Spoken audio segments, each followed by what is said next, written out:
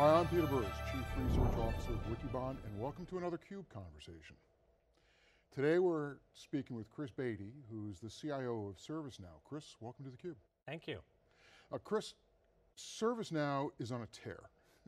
and I don't want to spend a lot of time talking about ServiceNow or what it was, but it's important to set the context because the job of the CIO at ServiceNow is strongly influenced by the demands being placed on your function. Tell us a little bit about ServiceNow. So ServiceNow, we are a rapidly growing company, growing at about 40% per year. We're approximately 6,000 employees, and we're a B2B software company. So we transform the way work gets done, drive efficiency and productivity of employees, and we have cloud services for IT, for security, for customer service and HR, as well as an incredibly powerful platform where people innovate and develop custom applications to drive efficiency within their organizations. Now ServiceNow is an example of a company that's very much uh, helping to transform the industry. Now at Wikibon we like to talk about it, define digital business as a business that treats its data as a strategic asset, certainly more than its competitors.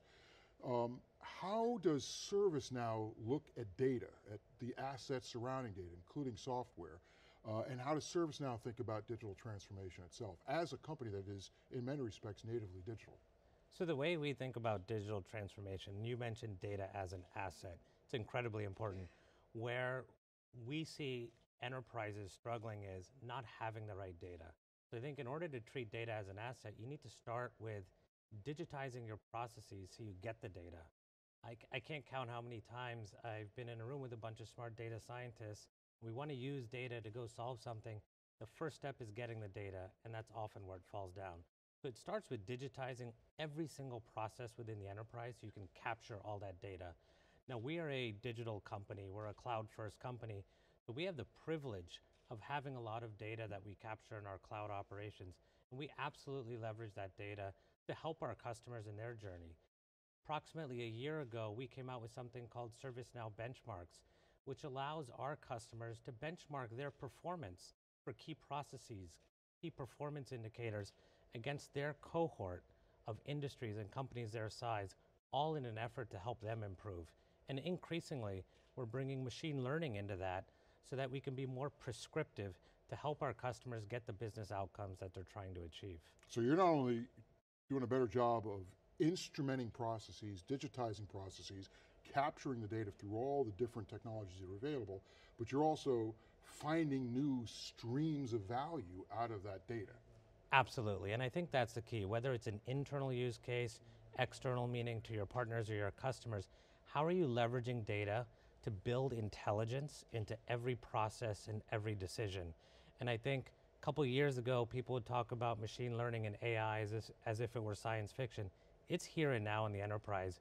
And I think companies that are able to take advantage of, to use your words, data as an asset and build machine learning capabilities and build recommendations in to help people make better decisions and in the future automate those decisions are going to start to outpace their competitors.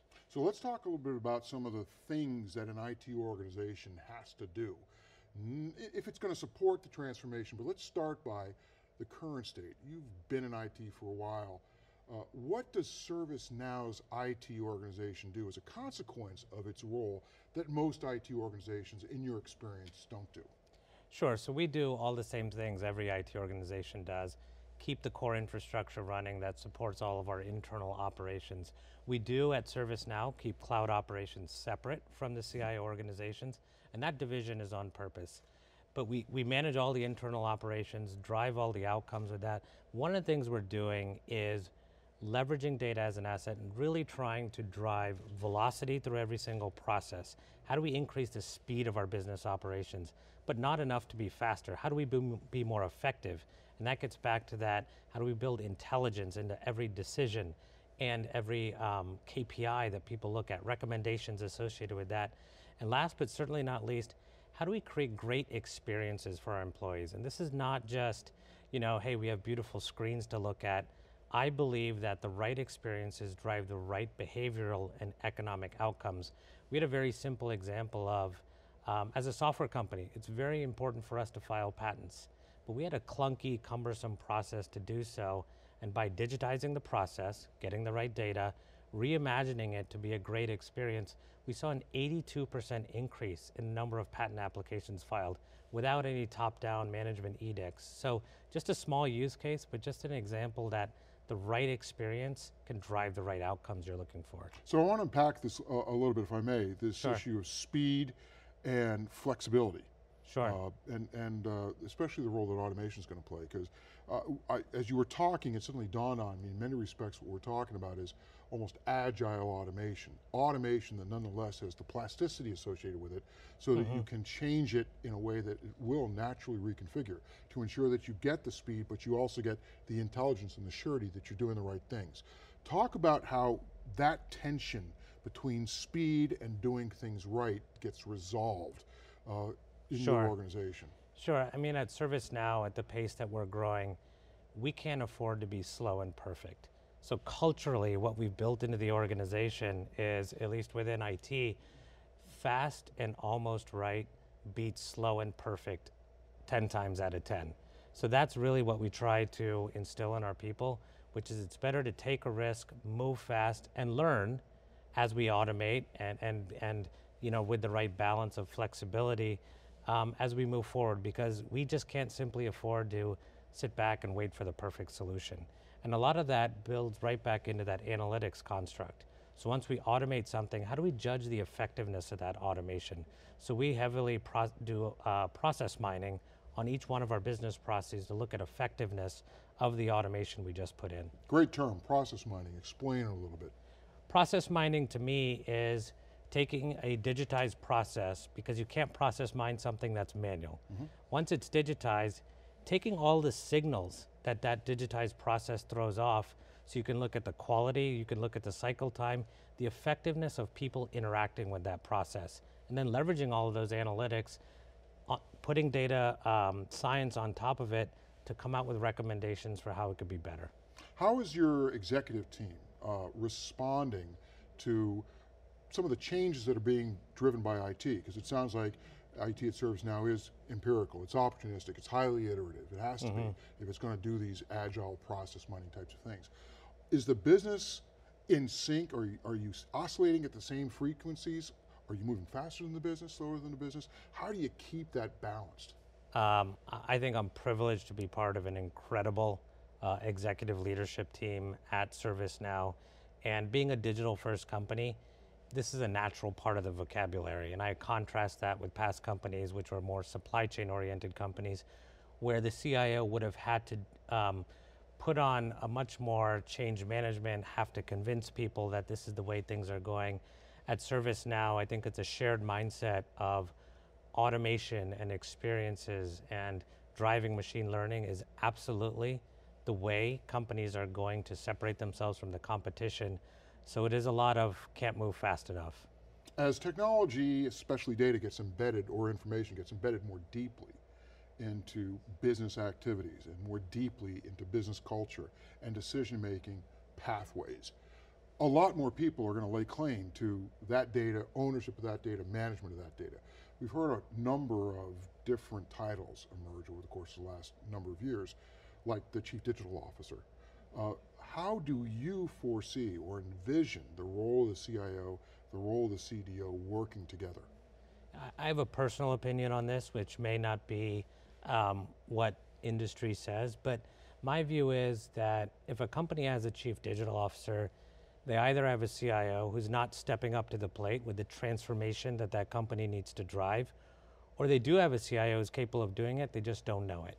Because I don't view the jobs as all that different, and I think the right CIOs need to step up and lead the transformation, because if not the CIO, then who? Yeah, exactly. So, so your, your observation is that CIOs either need to step up and do this, or find another job where somebody's willing to operate at a slower speed with less strategic in, uh, orientation towards data. Absolutely. How does a CIO get themselves heard without annoying everybody? Uh, art versus science, but but I would say it starts with job number one of the CIO, which is what the job was, call it 20 years ago, which is making sure the core infrastructure of the company worked. And unless that's working and it is good shape, it's almost as if the CIO doesn't have that permission to step up and do all the transformation stuff. So get that part of the house in order. And then I think it's a bit of just, you got to take responsibility for more than just the standard IT stuff. Taking responsibility for business outcomes. How do you drive lead velocity? How do you drive sales rep productivity? How do I make my financial close more efficient? So really partnering with the other stakeholders around the company to say, what business outcomes do we need to drive to achieve our strategic objectives and owning them. So I've worked with other CIOs and senior leadership teams at large companies who said, for example, that they actually started taking advantage of opportunities to meet directly with customers, see what customers are talking about, see how their technologies are impacting customer experience. Mm -hmm. I would presume that you and your team are out in the field at least some of the time, better understanding how your portfolio is improving the effectiveness and the efficiency of ServiceNow in front of customers. Are you doing those types of things? Uh, absolutely, and I actually used to be a customer of ServiceNow. I've been a customer of ServiceNow for over a decade before I joined the company. Um, so it's great to be here. And internally, we do act as customer zero. So we have a very healthy relationship with our product teams where we want to give them that, you know, candid, constructive feedback. Everything the products are doing great, and here's ideas perhaps on where we could do a little bit better. And in my role, I also have the privilege of talking with a lot of our customers, peer CIOs, who are, who are all trying to go through the same digital transformation journey and exchanging ideas on our, how our platform can help do that.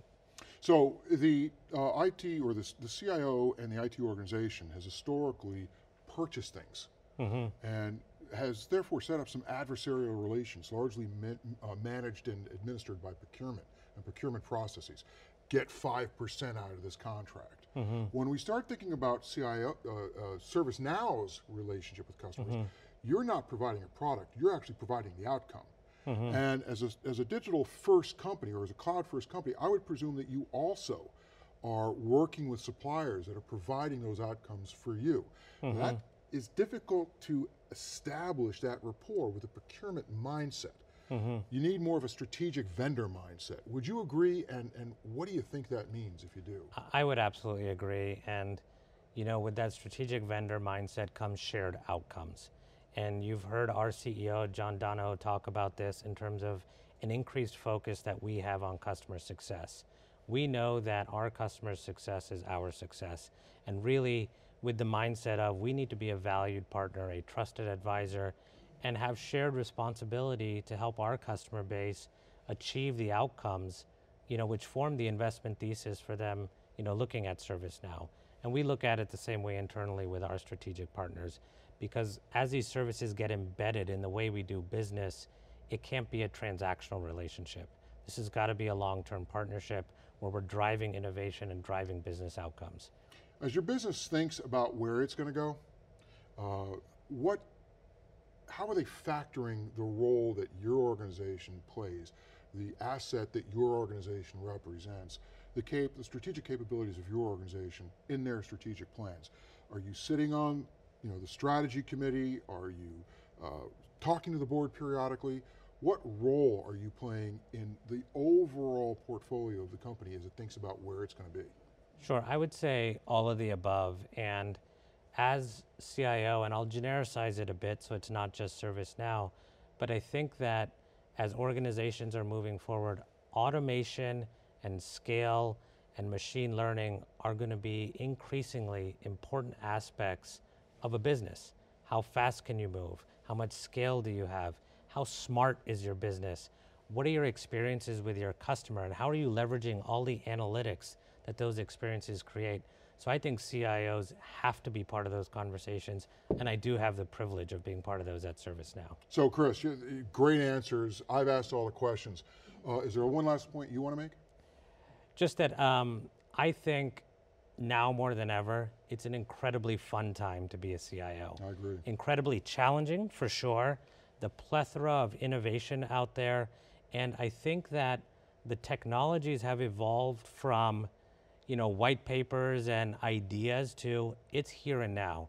So I think as a CIO, it's, it, it's never been more fun, more challenging, more responsibility on us to deliver outcomes for the enterprise, but that's what makes it fun. If you step up. If you step up. Once again, Chris Bedi, thank you very much. ServiceNow, CIO, Really appreciate you being here on theCUBE and telling us a little bit about how you're performing while you're helping the company transform. Thank you. This has been Peter Burris, uh, Chief Research Officer of Wikibon. Thank you very much for listening in on our CUBE conversation.